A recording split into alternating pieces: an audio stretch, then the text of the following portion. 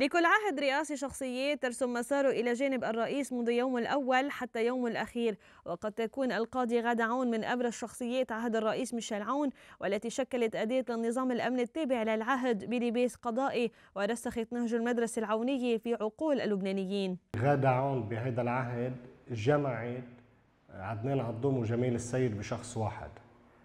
وبالتالي آه، جربت تخرب القانون والقضاء من أجل تنفيذ أجندات العهد مش بس السياسية أجندات العهد المالية والمصرفية ويتم استخدامها من أجل تهديد وابتزاز والتهويل على كل خصوم العهد.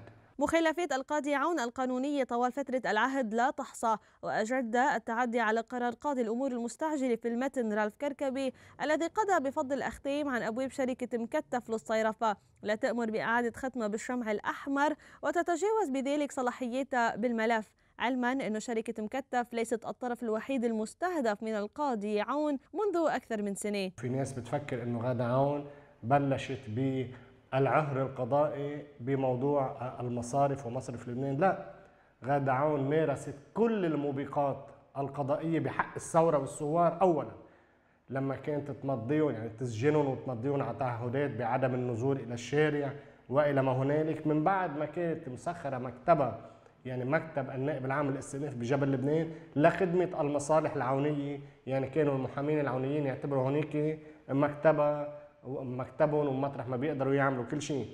بلشت بموضوع الثورة ثم نقلوا استهدافها للمصارف ومصرف لبنان.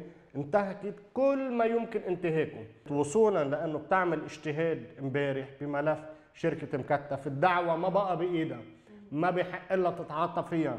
بكل المعايير القانونية الدعوة قدام قاضي التحقيق صار ترجع هي بتقرر هي بتقرر يعني بتعين حالها قاضي بينها وبين القاضي المنفرد تتقول هو ما بحق له يكسر قرارات. أنا اخذتها بترجع بتحط اختام بوقت الدعوة بطل بايدها ويشير ابي نجم إلى أنه بحق القاضي عون 12 دعوة أمام التفتيش القضائي من دعاوى مثبته بالتزوير إنما محاسبتها مجمده بسبب الأوضاع القائمة حتى نهاية العهد. 31 10 جاي مهما تأخر وغادة عون رح تكون قدام مصير أسود بكل معنى الكلمة.